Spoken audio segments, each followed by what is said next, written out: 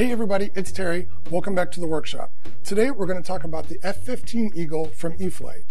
This is a sport scale model of the full-scale jet fighter that's been around for decades.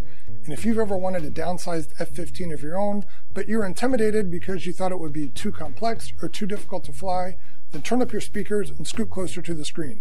You'll want to hear about this one because this F-15 has features that are intended to make things easier for modelers who aren't used to building or flying fast pointy airplanes. So stay tuned and I'll tell you all about it.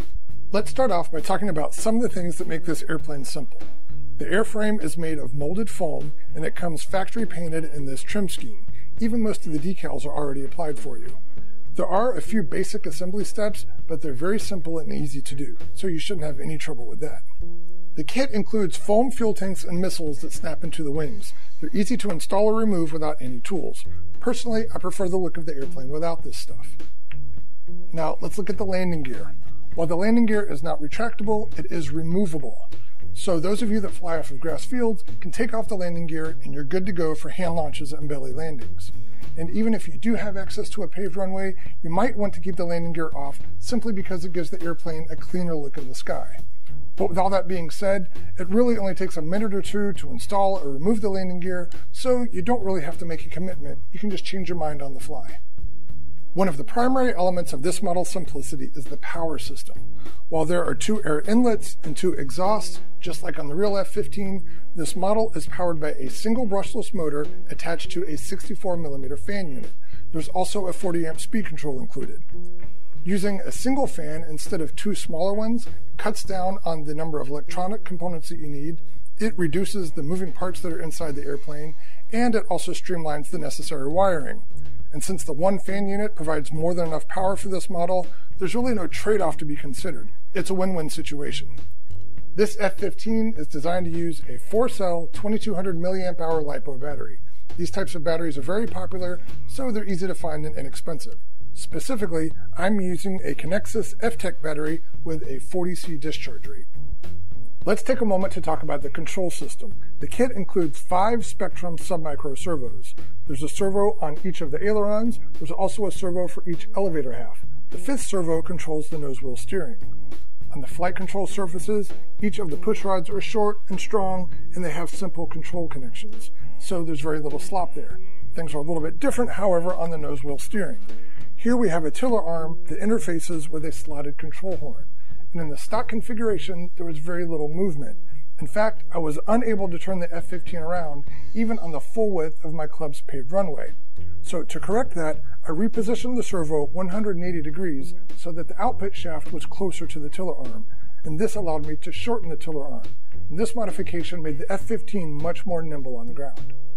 With the recommended battery placed completely aft in the battery compartment, the F-15 balances a little bit nose heavy, it can be flown this way, but I do not recommend it because you lose elevator authority at low speed and you may not be able to flare for landing. So I would definitely suggest that you balance the airplane at the location noted in the manual.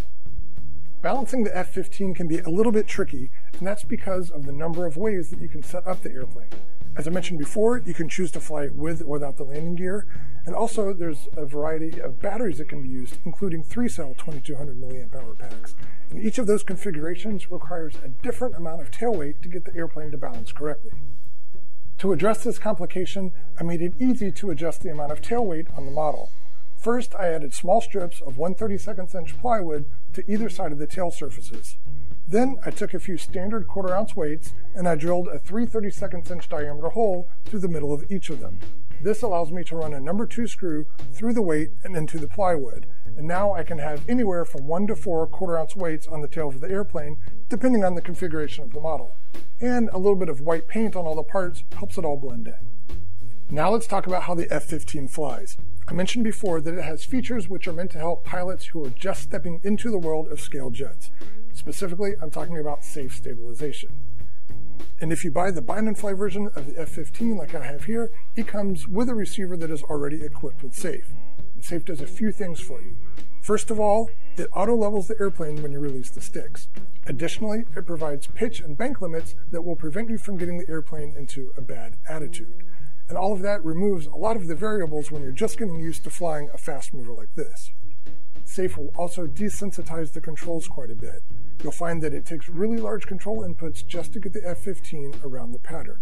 And that can be a little bit disconcerting for pilots who are already used to the fine, nuanced control inputs that are normally required for this kind of airplane. For those pilots, I can assure you that the Eagle is very responsive and aerobatic as soon as you turn off safe.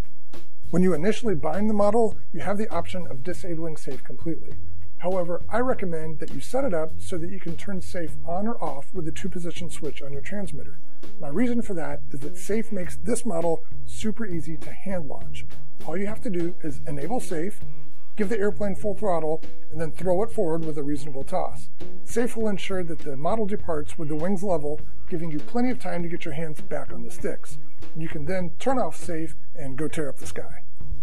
Although this F-15 does not have rudders, it is capable of an impressive range of aerobatics. Loops and rolls and inverted flight are just at the top of that list. The fan unit provides a good mix of climbing power and top speed, but don't feel like you have to fly at full throttle all the time. I found that this airplane cruises nicely even at partial throttle settings. I have my flight timer set for three minutes. When that timer goes off, that's my cue to start setting up an approach for landing. If you're more consistently heavy on the throttle, you might want to come in sooner than that. But either way, make sure you give yourself enough time and airspace to set up a good approach. This airplane is surprisingly slippery and retains energy well, but with a well-planned approach, the landings are really easy. This wraps up my overview of the F-15 Eagle from E-flite. I'll close things out with a little bit more flight footage. Also, be sure to check out the written review in Model Aviation magazine. Thanks for watching.